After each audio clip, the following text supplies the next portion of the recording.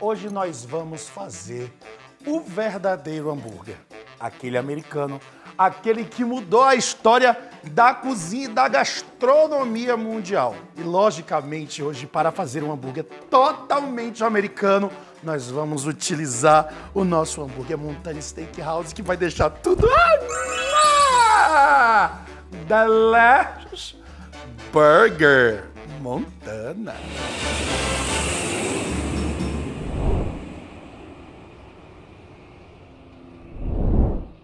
E antes de começar, nos sigam nas redes sociais, arroba Salomão Bruno e arroba Cacete Facebook, Twitter, Instagram. E se você precisar dessa de todas as outras receitas, entra lá no www.brunosalomão.com.br, onde você vai encontrar também a nossa lojinha, onde você vai encontrar lá os nossos subs, camisetas, bonés, facas e todos os produtos que serão lançados pela BSAF.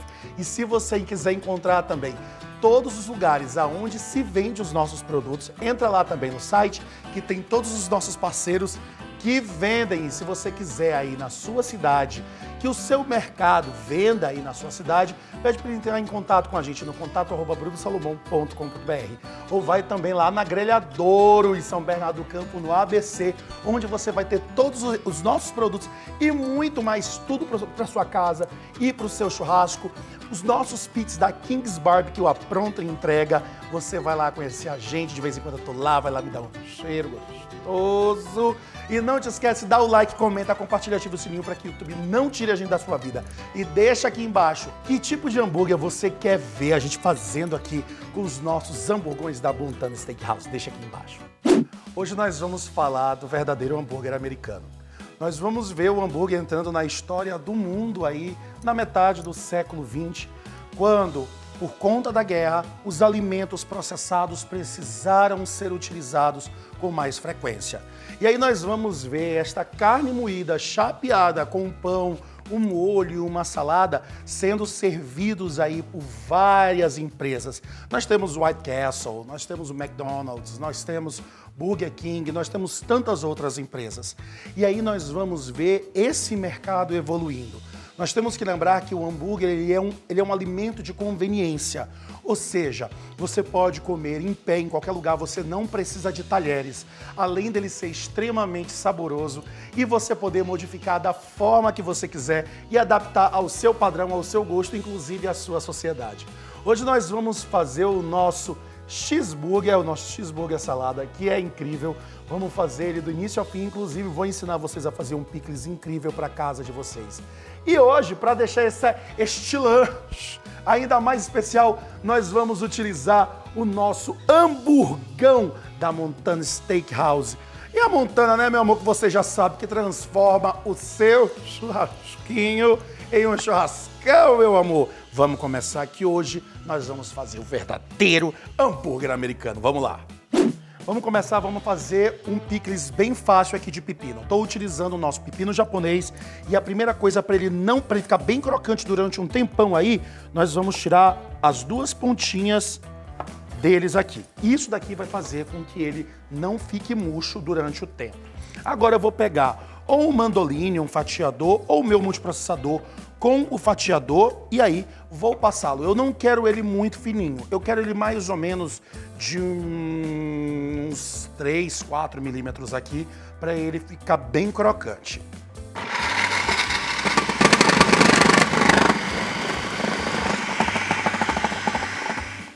Mais ou menos dessa grossura. Vou colocar num bowl.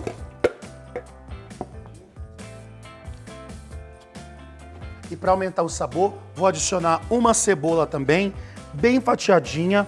Vou partir ela no meio e nós vamos fatiar ela bem fininho. Espalhar bem.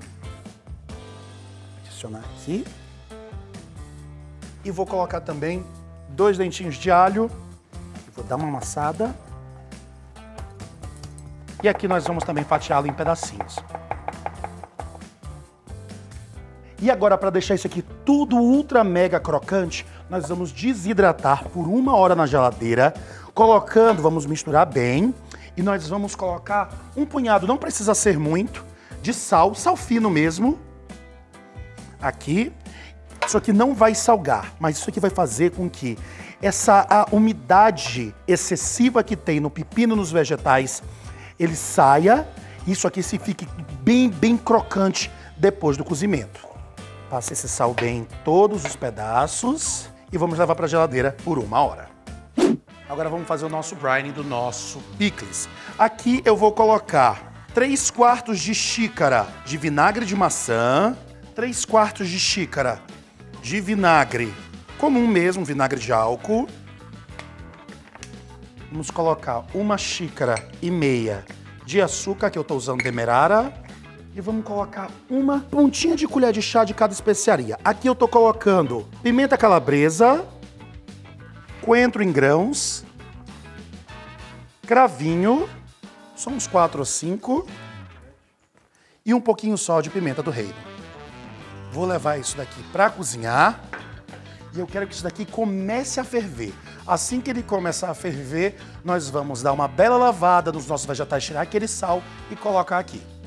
Depois de uma hora, olha a quantidade de água que sai de dentro desses vegetais. Vamos lavá-los.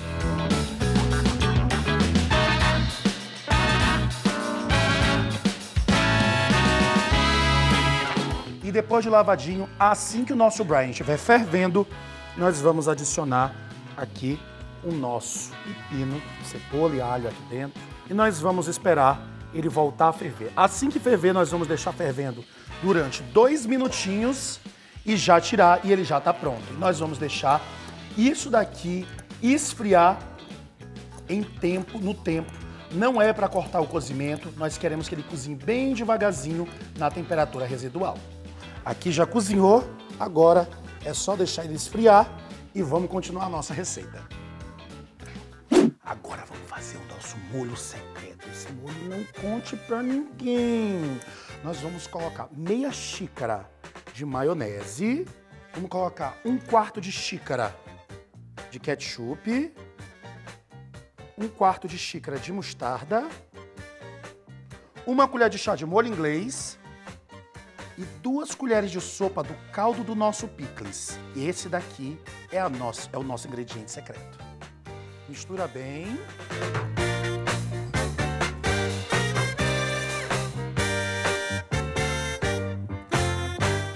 Agora vamos ao que interessa. Vamos colocar aqui bacon. Eu vou utilizar duas fatias, lógico, por burger. Vamos deixar ela fritar bem fritinha. Eu vou colocar mais, né, gente?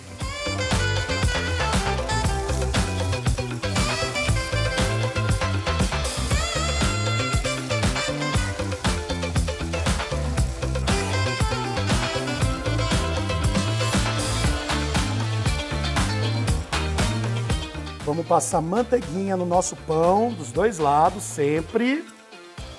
Vamos levar para nossa chapa.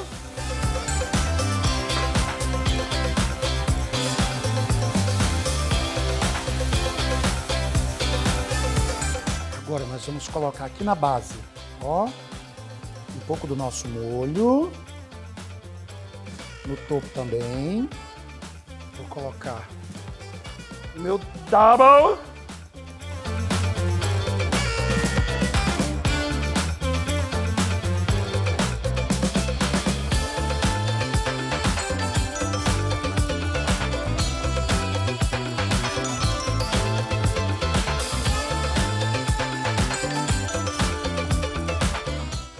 Agora é só coroar. E tá pronto o nosso hamburgão, utilizando o nosso hamburgaço da Montana Steakhouse. Façam, façam no seu churrasco, façam na sua frigideira, na sua chapa, mas façam. Esse hamburgão da Montana Steakhouse, ele é fantástico. Receba.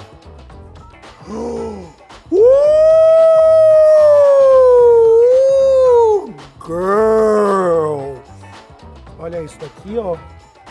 Olha isso aqui. Olha isso aqui. Não, antes, antes, antes, antes, só.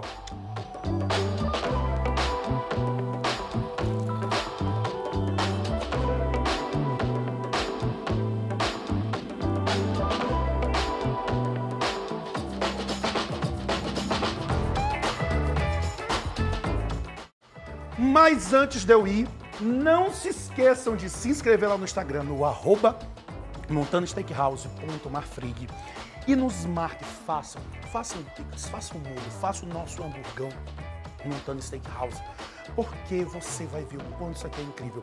E nos marque, tire foto, Coloca a gente no feed, coloca a gente nos stories, marca a gente em todo canto.